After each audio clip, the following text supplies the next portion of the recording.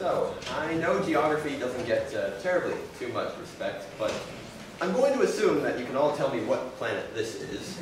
Um, however, and I don't think I'm being presumptuous when I say that, probably none of us, and I mean us, I'm including myself in this, have any idea what's actually going on here. It is a ridiculously complex system.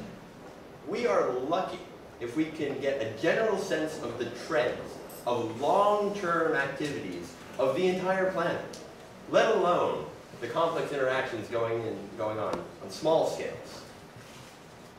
Richard Dawkins once said that physics is the study of simple things. Biology is the study of complex things. And I'm sorry, physicists, but you tend to study an electron.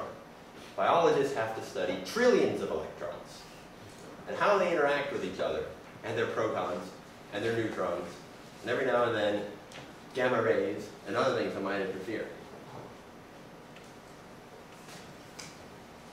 Michael Faraday, the great physicist, was once asked, what is the use of science? He's said to have replied, what is the use of a newborn baby? Richard Dawkins interprets this as meaning that science grows up. And with the complexity of the world, we've seen that science has been growing up for the past 3,000 years. It's only been in the past 150 years that we've noticed how intricately linked we are with nature, let alone our own cultures. But within the past few decades, we have seen, through a variety of organizations and people and fields, popping up these ideas that started to converge. And we had ethnobiology, ecological anthropology, cultural ecology, and they all sort of pointed towards a common idea. The idea of biocultural diversity. The idea that the diversity of life entails biological, cultural, and linguistic diversity. Well, we can debate how closely related language is with culture. Uh, I'll bring you an anthropologist and you bring me Noam Chomsky and they can have at it. But uh, it's important. We can, we can agree it's important. Even the United Nations Environment Program said in their Global Environment Outlook in 2007, that biodiversity also incorporates human cultural diversity. Now we can't take these two apart. In fact, there's an inexorable link. And the notion of this inexorable link implies not only that biological and cultural diversity are linked to a wide range of human-nature interactions, but also that they are co-evolved, independent, and mutually reinforcing. These are all very, very key. Co-evolved, interdependent, mutually reinforcing. So, what do we already know? Well, after our 3,000 years of growing up with science, we seem to have established that biodiversity is significant for ecological stability. We've got quite a lot of evidence that cultural diversity gives us a very broad knowledge base from which to work with. Well, biocultural diversity, of course, can only be better, can't it? It gives us such things as traditional ecological knowledge, or TEK. I like that. And what we can use that for is we can harness our broad knowledge bases that have co-evolved with a given ecosystem and use that to preserve the biodiversity, which is essential for the stability, which is essential for us to continue evolving with the system, and so on and so on. It works. We've seen it. Don't believe me? This is what the knowledge of biocultural diversity can be used for. It can be used to protect endangered species. Indigenous tribes, deep in the heart of the Amazon, they know how many animals of a certain type are there and how to harvest them sustainably. They've been doing it for a long time. And it's been shown to work in Namibia with traditional game management. Growing crops with sustainable yields. There's a lot of controversy over the Green Revolution about what it's done by dumping all these uh, pesticides and herbicides and extra fertilizers all over our soils. But the worst part is, we, part of the reason we've done this is because we've gone into areas, cleared away the original crops, and planted in ones from entirely different continents. Of course that wasn't going to work. Traditional ecological knowledge, the traditional crops. What can grow there? What evolves to grow there? Spreading education. You can't educate people unless you know how best they learn, what they want to learn. You can't just plop a school down and assume that people will learn. Eradicating disease. Finding medicines in the tropical rainforest, establishing trade routes and infrastructure without blocking a caravan's route to its well in Sahara. Protecting diversity entails understanding biocultural diversity. This is Quechua, the region in Ecuador. Many of the people there still speak um, indigenous languages unrelated to Spanish. Unfortunately, many of them have forgotten uh, which are the traditional crops they have grown, but uh, many of them still remember, and they're trying to respread this knowledge.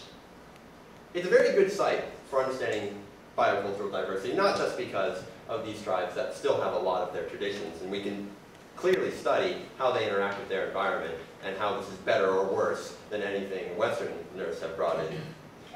But a student from Jacobs University has actually been here and worked with them on this very topic. And then she came back, and we were discussing all the implications, and we had an idea. Workshops. So, biocultural diversity is important. Okay. How important? Well, people need to be told about it. So just tell them? No, of course not. You can't just tell them. What have I just been saying? It's about culture. It's about understanding. It's about so much diversity that every single person is different. Every different background produces an entirely unique individual. We have to get them talking to each other, not just being talked at. So this is the idea of BCDC, biocultural diversity for conservation, or biocultural diversity and conservation, or biocultural diversity with conservation. I haven't really decided what's a good preposition in there. In fact, I'm thinking I might insert one of those logical operators, biocultural diversity if and only if conservation. Because conservation entails biocultural diversity in the sense of mathematical logic. But that's a whole other, that's a whole other discipline, which we can integrate into BCDC, but get away from there. The idea is this. We get students from this diverse background we have to choose from here at Jacobs University. From all over the world, from all different schools and education backgrounds, with all different desires and ambitions. Some of them want to be economists. Some of them want to be physicists. Some of them want to be hippies and chain themselves up to rainforests to protect them from logging.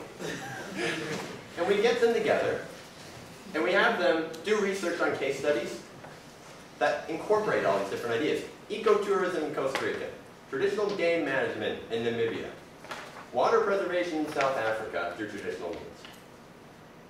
We have them discuss them from all their different perspectives, and we have them focus on real problems and try and think of their own possible ideas and solutions, both on the small scale, finding a particular village in Namibia with a particular problem and saying, what would you do about this? Who would you talk to? Who do you think could help it? But also the global issues. Get them thinking about these because the idea is that after this workshop, they don't stop. Everything they do in their lives is going to affect everyone else's life. So they might as well be thinking about it all the time. And this is not trivial, games and movies. Because Movies are culture. And culture can spread ideas very powerfully. So can these games. Here's a picture of the uh, pilot workshop that we held just this past spring. Us sitting outside, some genius decided to turn the tables into chairs. It was very comfy. But these games, every person that came got a welcome packet with the case studies and the information, and the schedule, and all that standard stuff, but they also had a picture of a particular animal. And they had to first group themselves together with someone else who they thought their animal was somehow closely related to, for whatever reason. Maybe they lived in the same habitat. Maybe they were under the same similar uh, broad range of threat like habitat loss or deforestation. It was entirely up to them how they grouped themselves by similarity. And it was very fascinating to see what ex explanations they had come up with. And then to have themselves group themselves up by difference. And once they were grouped up by difference and say, well, I really think this jellyfish has absolutely nothing to do with this lizard. Okay, well then how are they similar? And could we do without one of them? And then for the rest of the workshop, they would have to be thinking about their animal with respect to whatever we were talking about.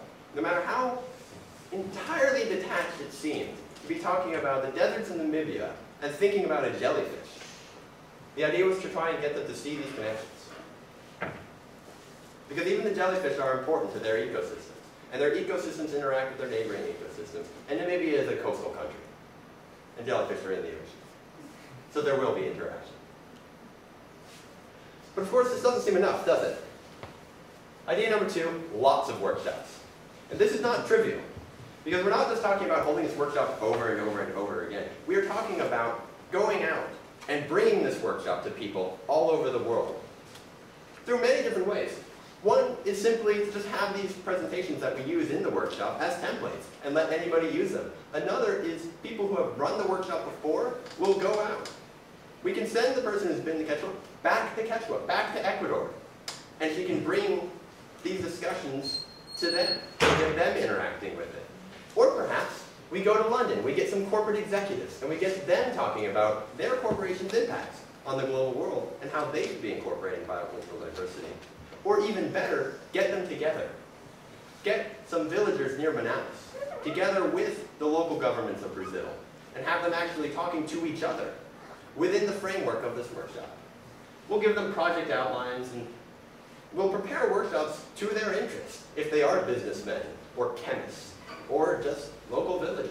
It doesn't matter. As long as they fall within the, the, the guidelines, we'll give them our general support. This is what it would look like. We could take this anywhere. We could have it outside, we could have it in a room, we could have slides, we could have the old school slides that you have to project up to a light. Oh, that's classic, I love that.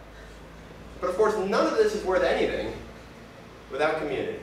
Idea number three. And it's the best time in the past 3,000 years to build global community. Nah, apparently not because technology is now failing me. Ah, here we go. Let's publish these discussions. Every discussion we have, whatever results we have, whatever people want to talk about, put it up there. Continuously update these case studies. The world is changing day to day, and there's no way we've got all the information by today anyway, so we have to constantly update them. Let's create forums on a single website where people can log in and talk about anything. The broader ontological issues, or the specific real-world problems and create free public domain media, animations, videos, audio recordings, whatever. Put it up there. Anything that helps transmit these ideas. Be it through fiction and culture, or be it through simple teaching, like with the, with the case studies. we already have a simple website with an ugly URL, bcdcworkshops, bcdcworkshops.wordpress.com. Uh, we're hoping to upgrade, obviously, but server space costs money. We're working on that. But the important thing is that we're going to give it a shot. Because even here in Germany, no matter how fancy we think our Western civilization may be, none of us live in a box. Well, you could say we live in a box. But this is the box. Light comes in, radio waves go out, and that's about it. Everything else is us bouncing around, a series of chemicals scattered about this tiny little planet, constantly interacting with each other. And we may never fully understand the planet, but we should at least try to understand each other. Thank you.